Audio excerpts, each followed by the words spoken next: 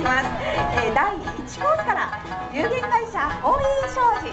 第2コース波乗りレディース第3コースはライオンマダム第4コースマンゴーマンゴー第5コースに石垣太陽の里第6コースにズミ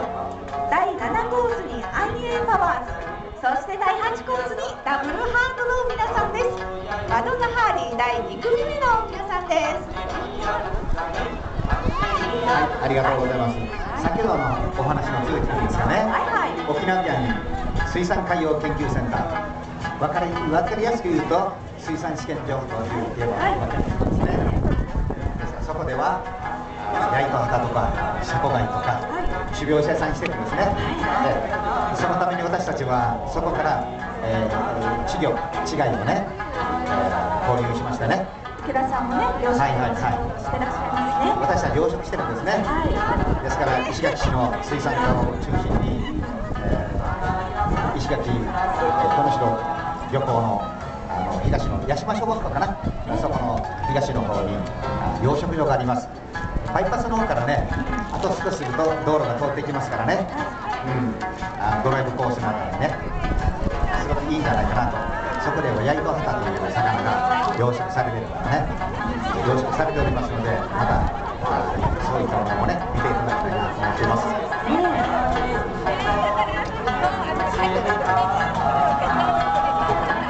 さあ池田さん、マドンナハーリー、あのマンタピアの頃からのね歴史がありますけれどもね。長いですね。ね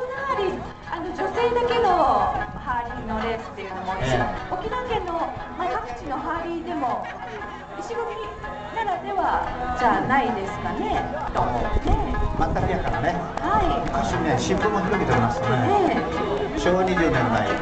のアンマーたちがね、はい、恋だという記事も載ってるんですね。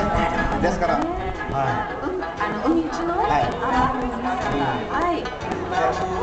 あの歴史的にはその昔から。一旦こいでたんですが東大なりしかし今はねちゃんとパリの中でね、はい、マドンナレースというのがね、ありましてね。いいな。ね、マドンナールがあると女性の皆さんも挑戦できますもんね。そうですね。ねはい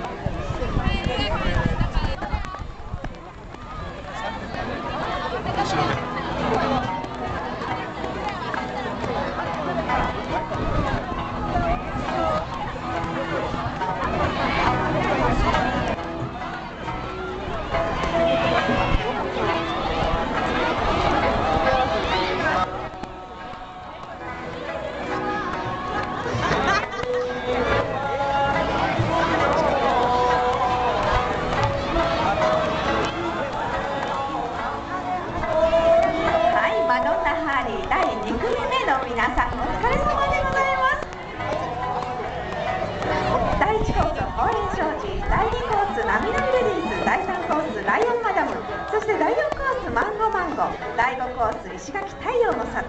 第6コースズミ第7コースアイエンパワーズ第8コースにダブルハートの皆さん。マドンナハーリー第2組目のレースでした。